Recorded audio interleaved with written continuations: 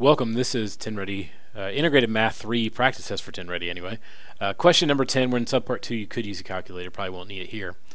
The question says, what is sine theta if theta is an angle in the third quadrant and tangent theta equals 1? That third quadrant thing really matters here. Uh, I'll be direct, have a little director's cut commentary here for a second. I haven't actually taught Math 3 in a semester or two, and uh, I haven't taught Algebra 2 and since our school system moved into Math 3. So um, it's been a while. And when I was working through this, I ended up getting the correct answer and remembered how that I explained it, which is much more important to me. Knowing how to get the answer myself is meaningless. Knowing how to show it, you how to do it is more important. But I got a little surge of excitement because I figured it out.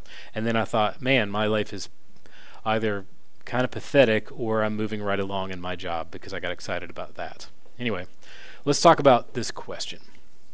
Now, when, when they're talking about being in the third quadrant, we're using a, a, essentially the idea of the unit circle, but not quite. So we're actually going to create a right triangle down in the third quadrant. Now the third quadrant is here. This is 1, this is 2, this is 3, this is 4. Now the thing about it is, um, where the right triangle is located really does matter. Because although you cannot measure a distance as being negative and and like when you uh, looking at side lengths anyway so when I do a right triangle here unless there's a specific reason for me to define this distance from here to here as being negative then I'm not going to. But in a quadrant it absolutely matters. And since 3 is like um, kind of like the dark arts position, everything's negative. It's like middle school. This is the worst year. I hate it. That's kind of what uh, quadrant three is. So we're going to use the fact that they're negative to help us come up with our answer. Now, I know I'm going to have to use the ratios, so I might as well write them down. Sine of theta equals opposite over hypotenuse. Depends on what you use to how to get to this point. Maybe use SOHCAHTOA.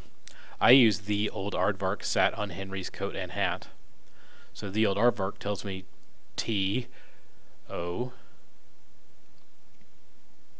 aardvark. So I'm going to use both of these. So thinking about what that means, visually speaking. I have this triangle I'm creating in that third quadrant. And I want my opposite side over my adjacent side to be positive 1, which means I'm going to have to have, uh, since they're both negative lengths, for the sides of the triangle, because if I draw them out here, that sort of thing, let's say this is negative 1, and this is negative 1, going to a point right there, which means that the distance from here to here is technically 1, and the distance from here to here is also 1.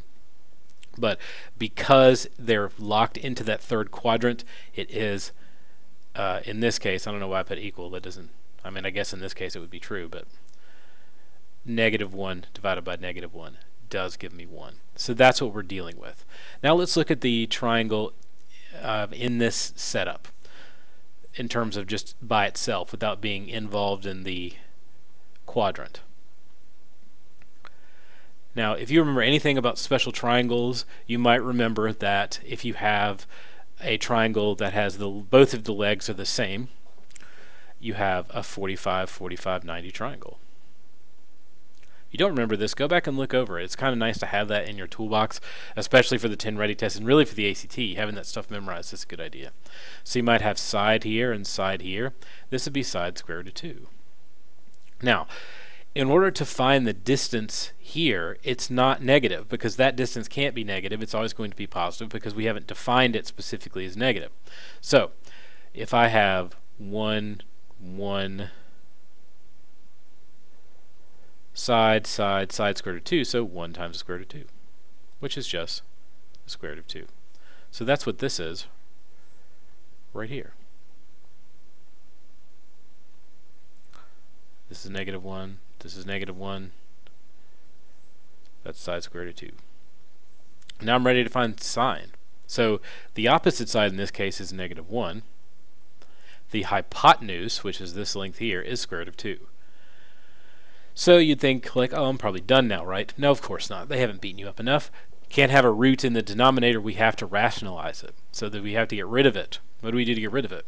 Well, the quickest way to get rid of a square root is to square it and thus have the opposite of the square root. So if I have say the square root of 3 and I want to multiply it by the square root of 3, that becomes the square root of 3 squared, and they both cancel. This cancels this, and you end up with just 3.